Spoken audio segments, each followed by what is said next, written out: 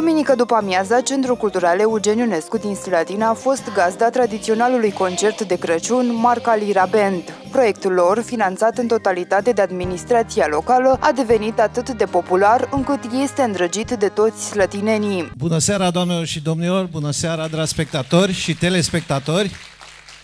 Și bine ați venit la ediția din acest an a spectacolului Bucuria Crăciunului. Ne bucurăm că suntem împreună cu dumneavoastră după 2 ani de criză, să spunem așa, din punct de vedere al evoluțiilor noastre, în sensul că am fost nevoiți să facem două ediții online.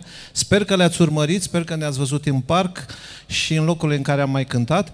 Astăzi este o seară deosebită, chiar dacă suntem la concurență cu alte evenimente, dar uh, încă o dată vă mulțumesc că ați ajuns la acest spectacol. Sperăm să vă simțiți bine, să aplaudați numerele noastre și în final să plecăm cu toții mulțumiți. Muzicienii au susținut un spectacol amplu cu melodii din repertoriul propriu, internațional, dar și melodii dedicate sărbătorilor de iarnă.